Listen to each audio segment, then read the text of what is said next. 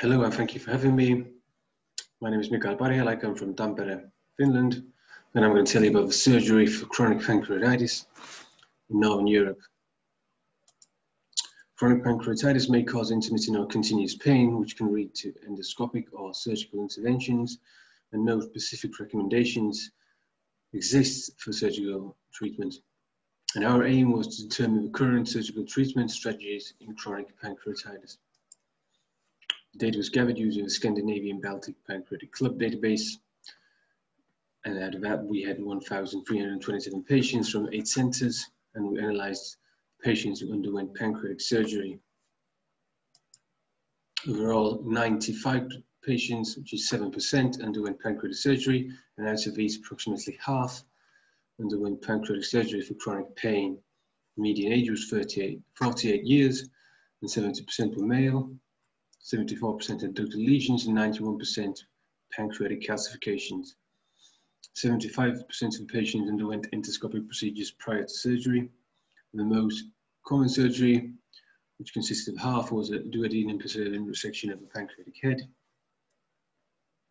followed by pancreatic resections here in the bottom table, we can see that the postoperative pain did not differ in the surgery group and the control group. The surgery group had more idiopathic chronic pancreatitis and had more endoscopic procedures done.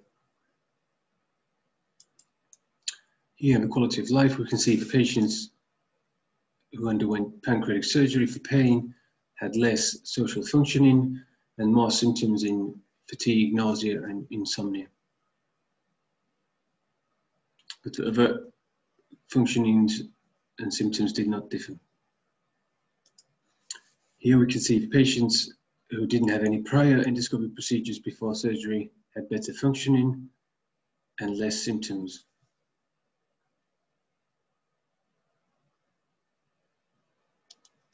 Our conclusion is that pancreatic surgery for chronic pancreatitis is rare. Surgical procedures were performed in only 7% of the patients and in half of these patients, the indication was pain.